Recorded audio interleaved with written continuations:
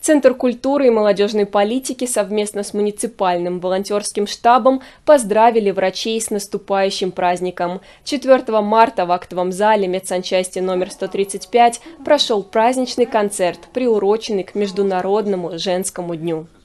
Я уполномочен от э, мужской половины Центра культуры и молодежной политики поздравить вас, пожелать вам всего-всего, здоровья, поменьше пациентов, Музыкальные поздравления были исполнены артистами Центра культуры и Центра помощи семье и детям «Солнышко». В программе дня песни согласно празднику, душевные, теплые, о любви и верности. Таким образом, врачам, пусть и ненадолго, но удалось отвлечься от своих непростых, но жизненно важных для всех горожан забот.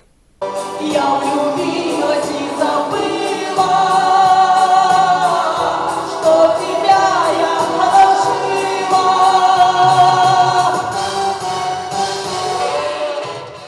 Кроме того, поводом для праздника стала и годовщина всероссийской волонтерской акции «Мы вместе». Эта акция взаимопомощи появилась с начала пандемии в марте 2020 года. Волонтеры акции успели помочь огромному числу людей по всей стране, которые находились на самоизоляции. В Десногорске помощь получили более 300 горожан. Благополучие в семьях, взаимопонимание с коллегами, поменьше болезней, поменьше пациентов – и всего-всего вам самого наилучшего.